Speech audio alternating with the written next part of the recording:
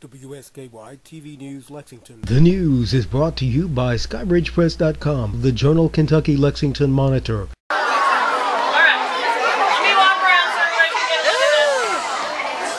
These are really funny. Alright, so I'm not allowed to let you guys touch them. Sorry, I know they cool. Alright, so this is called, this is called a blue tongue skink. And I'm sure you, a skink. I'm sure you can tell why she gets her name. You guys see her tongue? Her tongue is crazy looking, isn't it? So, I will tell you, her tongue, Baby tiger? it's really weird looking, isn't it? Does anybody want to guess why? But why is it blue? There is a reason. What? She does not, well, she might occasionally, but no, that's not her primary diet. It's not from what she eats, so. Anybody else want to guess? What do you think?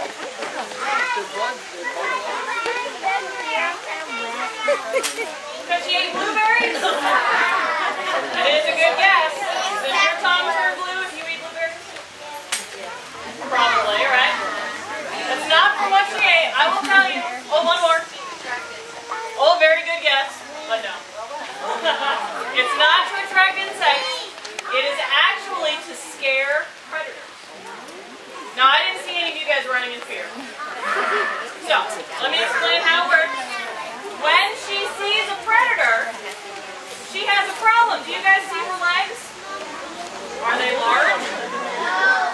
No, they're very small. And do you see her big, round body? I mean, she's kind of shaped like a sausage, isn't she? So do you think she can run very fast? No. Tiny legs plus sausage body does not equal speed, right? She cannot run very fast. So when she sees a predator, if he's getting close to her, what she will do is she'll stand up as tall as she can. Not that tall, but as tall as she can, and she goes. She sticks out her tongue. I don't really do a very good impression, actually. When she sticks her tongue out, she opens her mouth really wide, and she actually flaps her tongue up and down like a flag waving in the breeze. It is crazy looking, and the predator sees her carrying on. The predator goes, what the heck is wrong with that thing? And it hesitates a minute. It pauses because the predator doesn't know if she's dangerous or poisonous maybe or something like that. She's not. She's totally harmless. She plays a mind game with the predator to make them think that maybe she is dangerous. And when they pause, then she runs away